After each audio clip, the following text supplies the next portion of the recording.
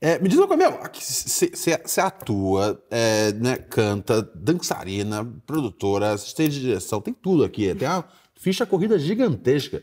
É, meu, o que que tem dentro dessa indústria que você que não fez ainda, mas você fala, eu quero meter a mão aqui uma hora? Cara, eu acho que eu queria fazer. Nunca fiz produção executiva, assim, produção. Fiz produções minhas, mas nunca fiz uma produção tipo showrunner, essa série é minha, tipo uma Fleabag, sabe? Uhum. Então, tô jogando aí. Galera, ó, galera da produção, blues. Gente, vamos fazer? Já aproveita e joguei no ar. Você tem a ideia? Faz o pitching aqui, então, pra câmera... Qual? Não, se ela falar a ideia. Não, a ideia ela não pode falar aqui, senão as pessoas roubam. É, vai que tem um Shakespeare lá. Mas era é, vai, pra me roubar. Mas era o que eu queria fazer. tem um monte de Shakespeare eu, abrir, assistindo vocês a gente toparem aqui. fazer comigo, a gente faz. Mas que, cara, eu tô achando muito doido que você. São, né? A mensageira e, e alguma coisa podre. As duas Isso. têm elementos sobrenaturais. Uma pessoa tão cagona assim.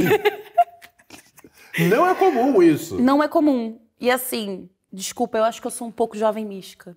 Jo Porque você gente... é? Você se descobriu, sou... então? Eu sou. Eu sou, gente, porque, assim, o que, que explica assim, a data de lançamento, eu e Laila juntas nos dois, nos dois lançamentos, é uma coisa muito mística.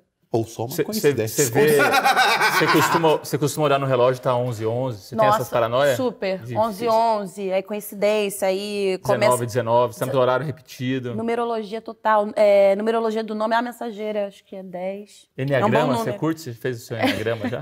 é, enneagrama não fiz. Não fez? É interessante. É, é bom. Ai, você também é jovem místico. Agora Sim, aqui, eu curto, eu curto na, na, é, na, na, editoria, na editoria Riso Frouxo, na série Segunda Chamada. Ai.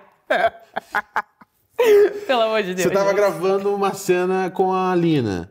É, a Linda Quebrada. É, e aí, não, mas aí, eu nem boto a culpa em você por essa, porque essa é sacanagem, tá ligado? E é pra ser uma cena séria, né? É. É uma é. cena séria. Aí o diretor botou pra poder dar um clima, porra, aí, aí você tá tirando é. a favela.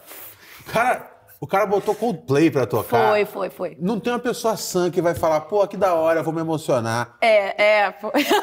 É música de playboy. Tá é, tá olha, não gente. Dá pra, não dá pra ficar de boa. Fãs de cosplay, assim, tem até amigos que são, mas.